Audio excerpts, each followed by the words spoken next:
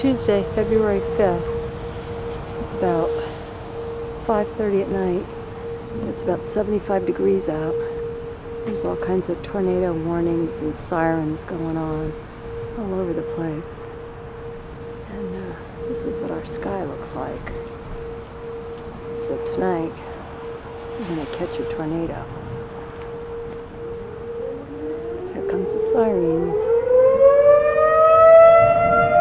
As you can see, it's pretty cloudy, pretty dark in some parts, and yet pretty light in the other.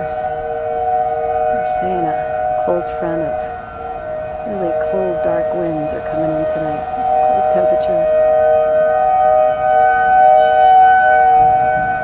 So, we shall see.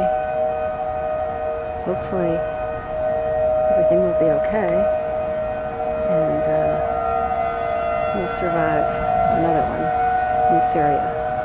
The doggies already told me they don't want to go spend the night in the closet like I make them do. But it sure looks pretty dark over there. And that's what's coming our way. Oh, we just got some got some lightning activity over here. I I just missed it. But I know there's going to be a lot more.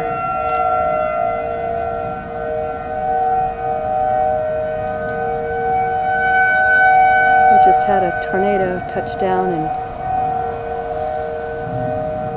in uh, Arlington and another one in Bartlett.